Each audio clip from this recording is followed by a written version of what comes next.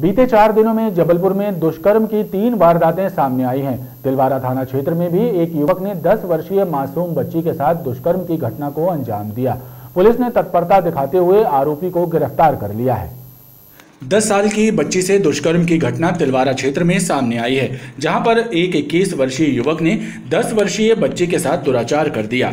घटना की सूचना क्षेत्रीय जनों द्वारा तिलवारा पुलिस को दी गई, जिसके बाद पुलिस ने तत्परता दिखाते हुए आरोपी सोनेश को गिरफ़्तार कर लिया और उसे न्यायालय में पेश किया, जहाँ से उसे न्यायिक अभिरक्षा में जेल भेज दिया गया है।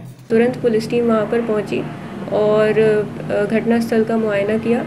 और बच्ची को सेफ़ किया और मुलाइजा के लिए भेजा गया और तुरंत ही मुखबिर मामूल करके और अपने सोर्सेज से अगले ही दिन हमने पता करके 21 तारीख को आरोपी सुनेश को जो कि इक्कीस वर्षीय युवक है, उसको गिरफ़्तार किया, उसको आज न्यायालय में पेश किया गया है।